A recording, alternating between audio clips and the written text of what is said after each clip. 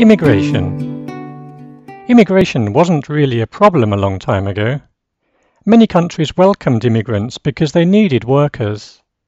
The USA, Australia, and Canada encouraged millions of people to come and live in their countries. Today, however, immigration is becoming a problem. Many countries are trying to control immigration. At election time, it is a major issue. Immigration today is big business. More and more people from poor countries want to live in rich countries. It is easier to travel nowadays because of cheap transport and more open borders.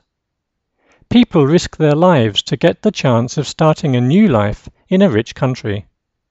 This can cause anger in the countries immigrants go to.